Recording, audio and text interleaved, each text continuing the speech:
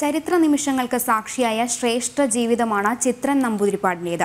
ഇദ്ദേഹം വിദ്യാഭ്യാസ വകുപ്പ് ഡെപ്യൂട്ടി ഡയറക്ടർ ആയിരിക്കെയാണ് സംസ്ഥാന സ്കൂൾ കലോത്സവം ആരംഭിക്കുന്നത്.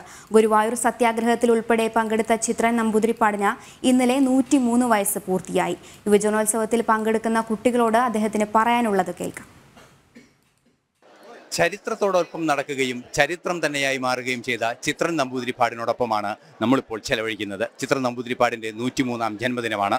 അദ്ദേഹത്തിന്റെ വിശാലമായ അനുഭവങ്ങളിലൂടെ അല്പനേരം നമുക്കൊന്ന് ചിലവഴിക്കാം.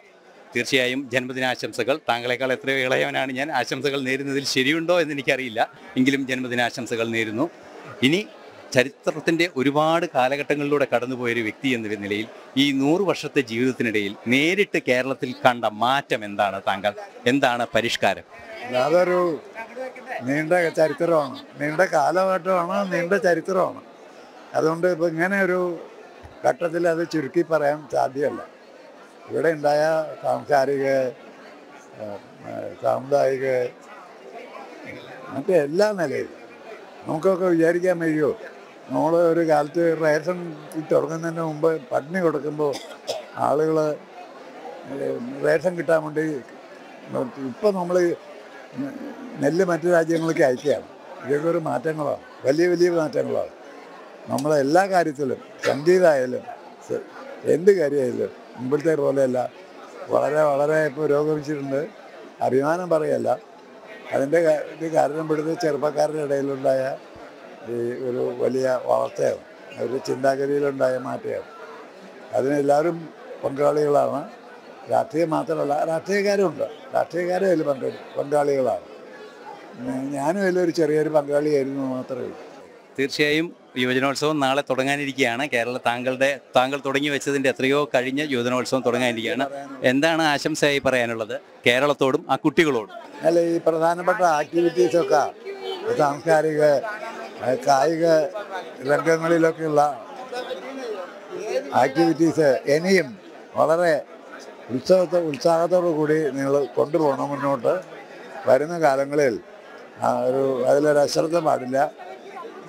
അത് തീർച്ചയായിട്ടും കേരളത്തിന് വലിയ സഹായം ചെയ്തിട്ടുണ്ട്. കേരളത്തിൽ പല പല ആളുകളൊക്കെ മോഹനയായിട്ട് എന്താ അറിയാത്ത ആളുണ്ടായിരുന്നു. അത് കഥകളിക്കൊക്കെ ആദ്യം ഒബ്ജക്ഷൻ ഉണ്ടായിരുന്നു. ഞാൻ ഞാനാണ് അതിനെ പ്രത്യേകം പങ്കെടുത്താവ്. അതിൽ ചിലർ ജേക്കബ് മന്ത്രിയായിരിക്കുന്ന കാലത്ത് ഒരു തവണ ഞാനൊരു കഥ കളി കാണുമായിരുന്നു. അത് കഥകളിയിൽ സിംഗിൾ ആക്റ്റാണ് ഒരാളേ ഉള്ളൂ. ഒരാൾ വേറൊരാളോട് സംസാരിക്കുക അപ്പം ഞാൻ അവിടെ ഇരിക്കുന്നുണ്ട്. ഓഡിയൻസിന്റെ ഇടയിൽ ഫ്രണ്ടിൽ അപ്പോൾ ഇത് അവിടെ വന്നു വർത്തമാനം പറഞ്ഞിട്ട് എന്താണെന്ന് വെച്ചാൽ ഞാൻ കഥകളിയാണ്. ഇങ്ങനെ ശ്രീകൃഷ്ണൻ മറ്റേ അല്ല ശ്രീകൃഷ്ണനോട് ദ്രൗപദി ഉണ്ടായ സങ്കടം പറയാണ്. അപ്പോൾ ശ്രീകൃഷ്ണൻ എവിടെ? ശ്രീകൃഷ്ണൻ ഇവിടെ ഇല്ല. ശ്രീകൃഷ്ണനുണ്ട് സങ്കല്പിക്കുകയാണ്. ഏയ് അതൊന്നും പറ്റില്ല എന്ന് പറഞ്ഞാൽ അതെ അന്നത്തെ അന്ന് തന്നെ ഒരു വിളിച്ച് മീറ്റിംഗ് വിളിച്ചിട്ട് അന്ന് ഞാൻ ഡെപ്യൂട്ടി ഡയറക്ടറോ ഡയറക്ടറോ ഒന്നുമല്ല അവരെ വിളിച്ചൊരു യോഗം കൂടിയിട്ടേ ഇങ്ങനെ ഒരു സംഭവം ഉണ്ടായി. കാരണം അത് കേരളത്തിന് വലിയ സഹായം ചെയ്തിട്ടുണ്ട്. കേരളത്തിലെ ചെറുപ്പക്കാർക്ക് വളരെ സഹായം ചെയ്തിട്ടുണ്ട്. സംഗീതത്തിൽ പ്രത്യേകിച്ച് സംഗീതം. എല്ലാ കലകളുടെയും മദർ നമ്മൾ പറയാം സംഗീതമെന്നാണ് നന്ദി. തീർച്ചയായും വലിയൊരു ജീവിതാനുഭവത്തിന്റെ പാന്താവിൽ നിന്നും നമ്മളോട് അദ്ദേഹത്തിന്റെ അനുഭവങ്ങൾ പങ്കുവച്ചതിനെ ആദ്യം നന്ദി പറയാം.